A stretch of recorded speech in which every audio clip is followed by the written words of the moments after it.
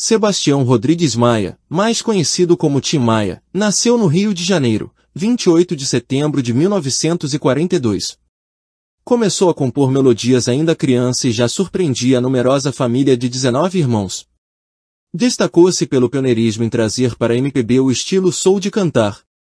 Com a voz grave e carregada, tornou-se um dos grandes nomes da música brasileira, conquistando grande vendagem e consagrando sucessos, lembrados até hoje, e que influenciaram o sobrinho, o cantor Ed Mota. Após o fim do grupo The Sputs, formado com o jovem Roberto Carlos, teve desilusão com a música e foi morar nos Estados Unidos em 1959, sendo deportado em 1964.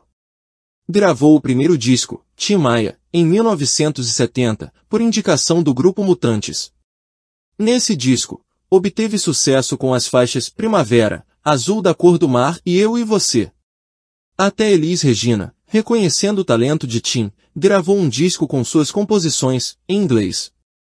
Durante os anos 70, tornava-se cada vez mais famoso com canções como a dançante Não Quero Dinheiro, Só Quero Amar, na era disco. Teve altos e baixos durante a carreira, como enfrentando o descaso de amigos, após a prisão em Nova York, além de problemas financeiros e drogas.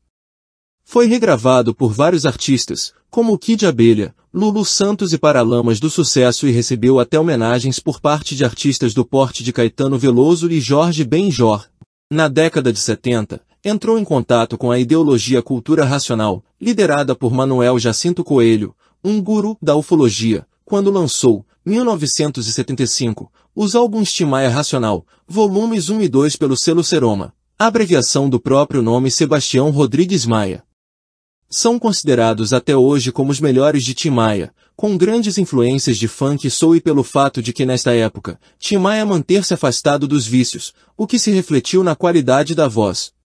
Desiludido com a ideologia, percebeu que o mestre espiritual Manuel não correspondeu ao ideal de um mestre. O cantor, revoltado, tirou de circulação os álbuns, tendo virado item de colecionadores, devido à raridade.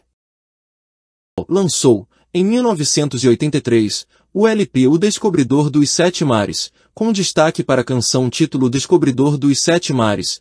Outro disco importante da década de 1980 foi Tim Maia, 1986, que trazia o hit do Leme ao Pontal. Artista com histórico de problemas com as gravadoras, na década de 1970 fundou seu próprio selo, primeiramente Seroma e depois Vitória Régia. Por ele, lançou em 1990 Timaya interpreta clássicos da bossa nova. Em 1993, dois acontecimentos reimpulsionaram a carreira, a citação feita por Jorge Benjor na canção W do Brasil e uma regravação que fez de Como uma Onda, Lulu Santos e Nelson Mota, para um comercial de televisão, de grande sucesso incluída no CD Tim Maia, do mesmo ano. Assim, aumentou muito a produtividade naquela década, gravando mais de um disco por ano com grande versatilidade. O repertório passou a abranger bossa nova, canções românticas, funks e sus.